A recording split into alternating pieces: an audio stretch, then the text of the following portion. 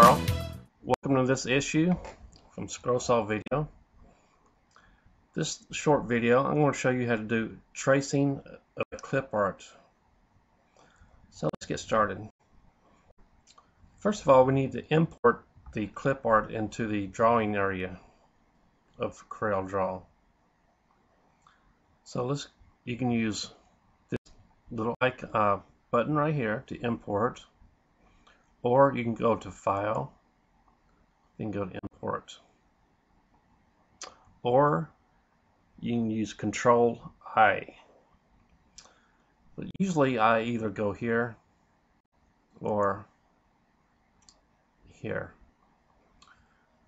So okay I'm going to click on this. I'm going to find the file where my pattern is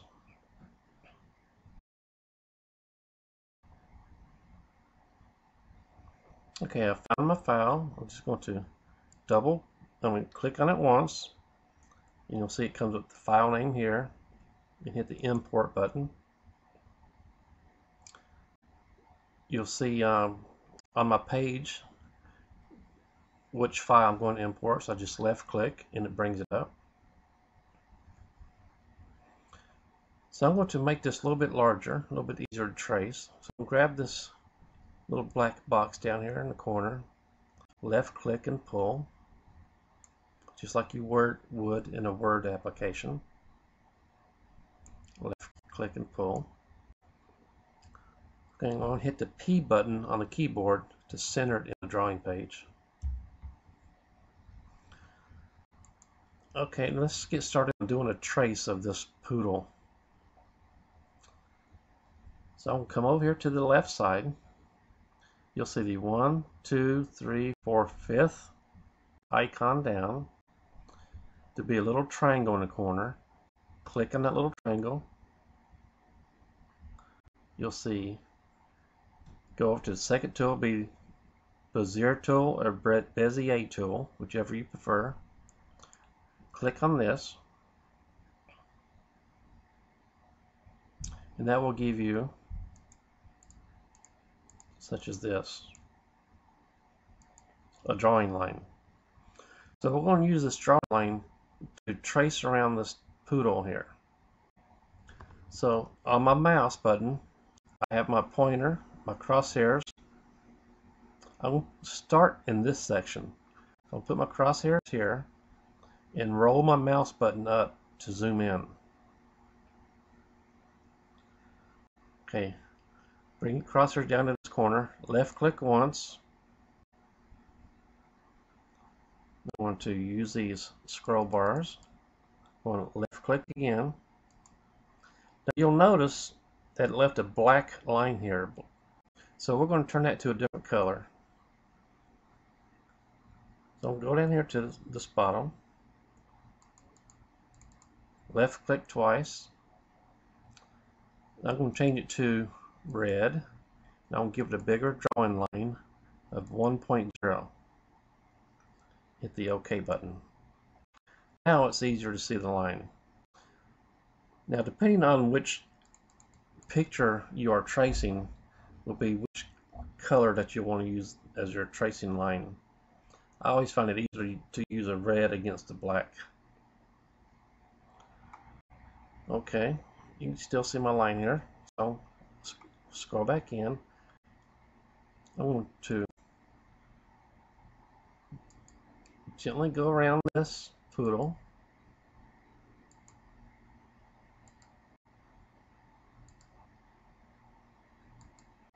Such as this.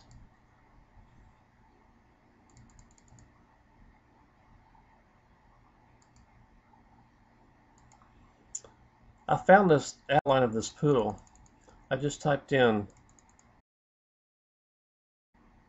silhouette of dogs. And this is one of the items that came up in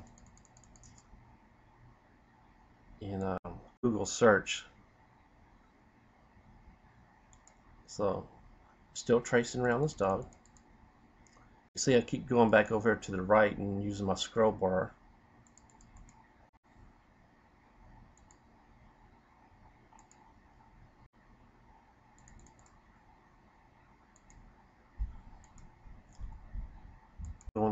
around the dog. The more nodes that you put on, a node is every time you click there'll be one of these little boxes here. So the more nodes you put on, the more detail you can actually put in your tracing.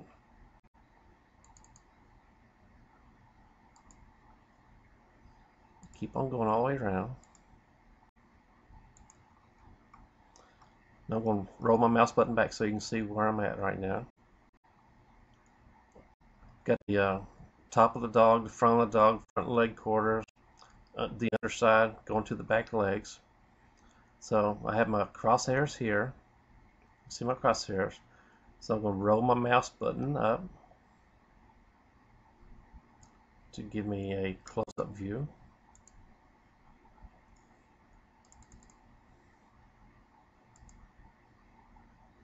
Still continuing to go around this dog.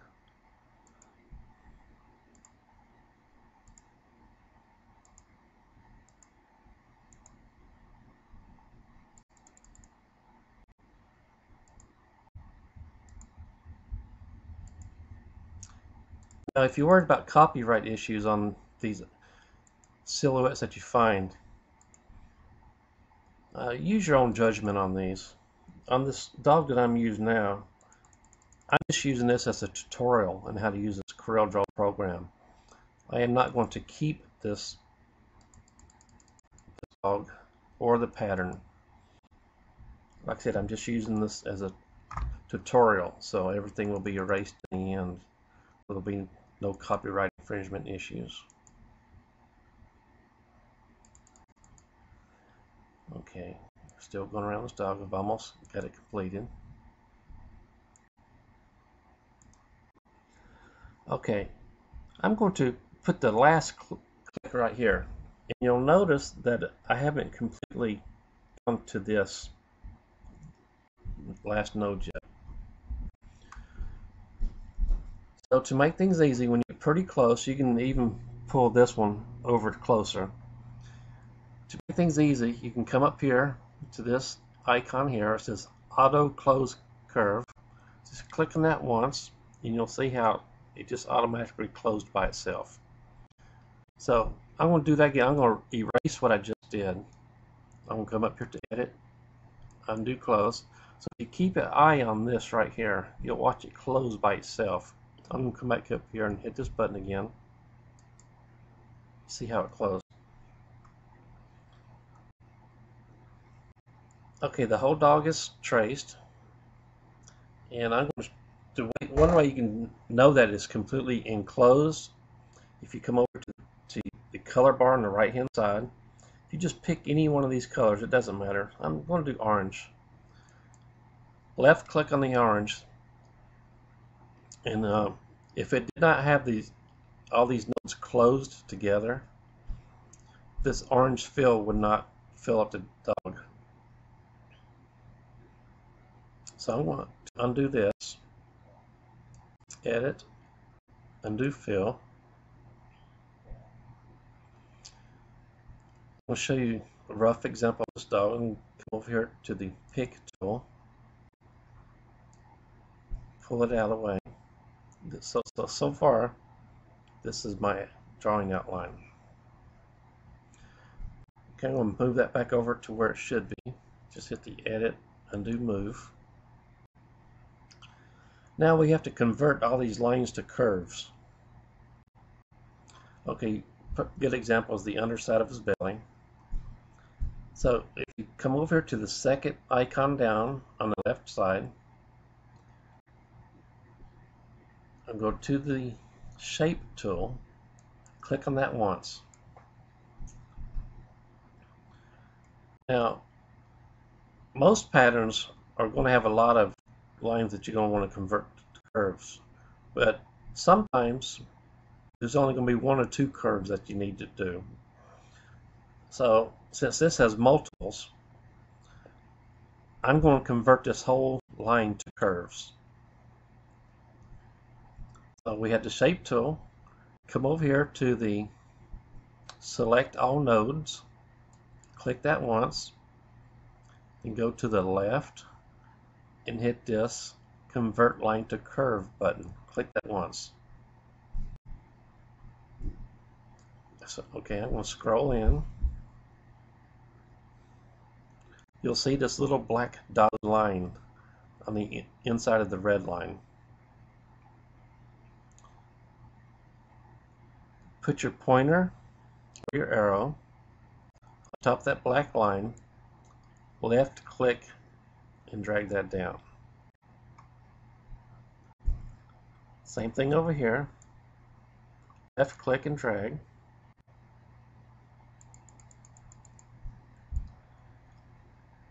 Left click and drag. Left click and drag.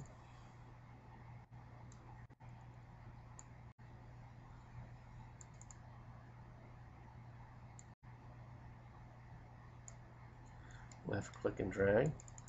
We're on bottom of his front foot now. Left click and drag. Left click and drag. Click and drag.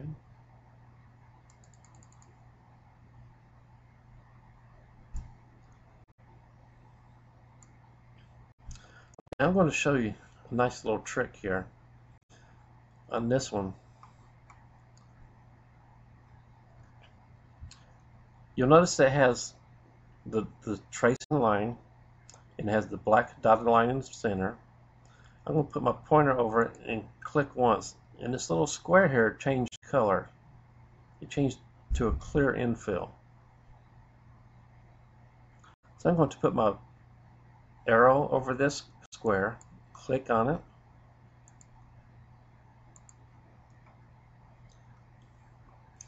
and when I do that, it puts an, an arrow such as these for going from each one of these corners. So you can take one of these arrows, grab an arrow, and, and pull the line, such as this. I want to scroll up a little bit. I'm going to take this arrow. You can see my line goes in different shapes.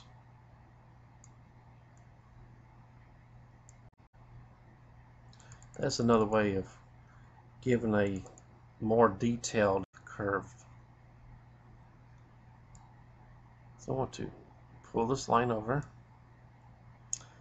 Okay, you'll see how this line is not completely a good line here. So I'm going to click on this arrow here. Move it back. Let's see how that looks. That looks pretty good.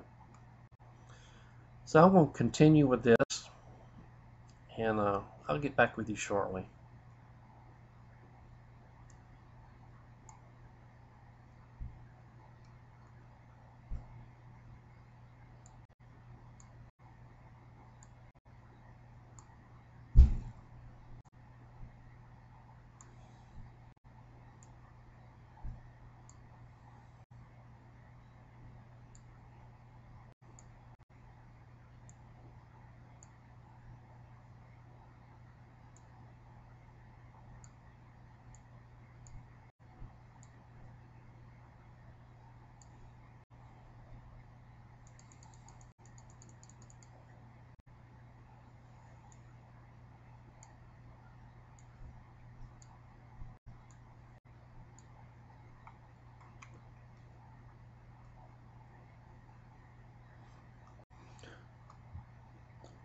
Okay, I have the complete dog traced out. I want to go up here to the pick tool. You'll see my outline here. To left click down here somewhere to get rid of all those nodes. Okay, to click on this, the imported version. Move it out of the way. Click on this one button next to your page. And there you have a completed outline of a poodle pattern. Now there are several different things you can do with this uh, to make your scroll saw pattern. Uh, you be the judge of how you want your finished product to work out. just be careful when you're importing patterns or just be careful when you're importing pictures from you, the internet. Do your best not have any conflict of copyright issues. If you're ever unsure of anything, just don't do it. That's my philosophy. So I hope you enjoyed this short video.